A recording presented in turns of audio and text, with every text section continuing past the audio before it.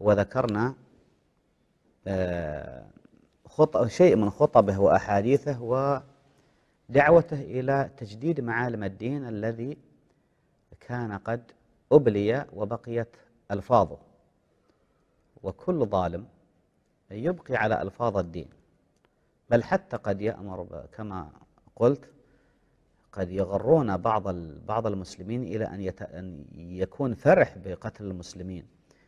يحمد الله كما رأينا في مسرف بن عقبة المري بعد أن قتل عشرة آلاف من الصحابة وأبنائهم واستباح نساءهم يحمد الله أنه وفقه لهذا الخير. السلطان يفعل أكثر من كذا والشيطان يفعل أكثر من كذا بمعنى أن الشيطان تلبيسه على المؤمن.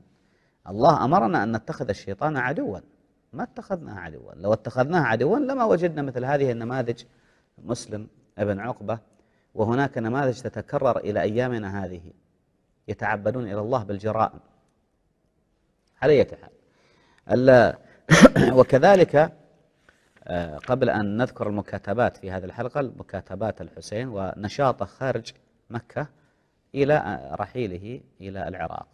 لكن لفت نظري قبل أن أن أصل آه، عندما ذكر الإمام الحسين آه، أدعوكم إلى إحياء معالم, معالم الدين وإماتة البدع. وذكرنا لكم نماذج البدع.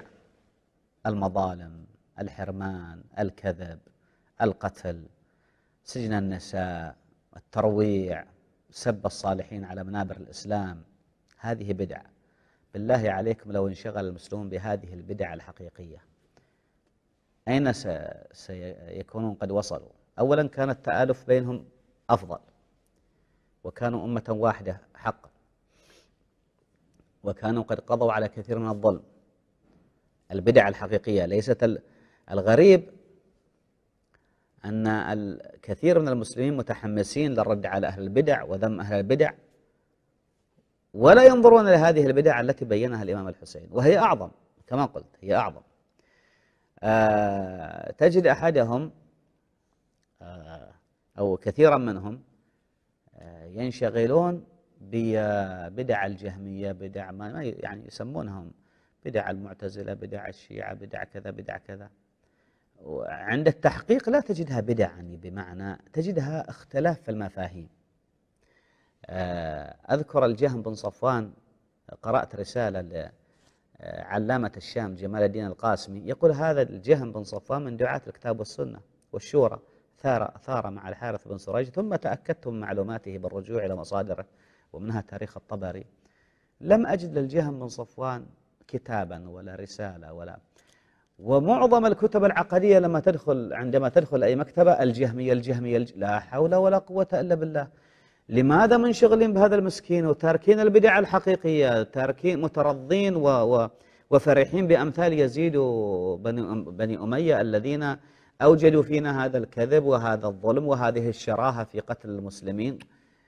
أين عقولكم؟ يعني يعني أنا أخاطب بعض طبعا أنا لا أخاطب تيارا معينا. وأنا أعرف كثيرا من من الناس من من مذهبنا من مذهب السني ينكرون هذه الجرائم ويبرؤون إلى الله. ولكنهم قلة وسط هذه الهج هذه ال الحفلة.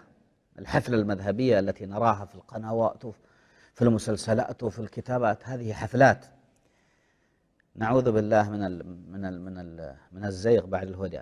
فلا بد أن تحدد ترتب البدع. ما هي أبرز البدع؟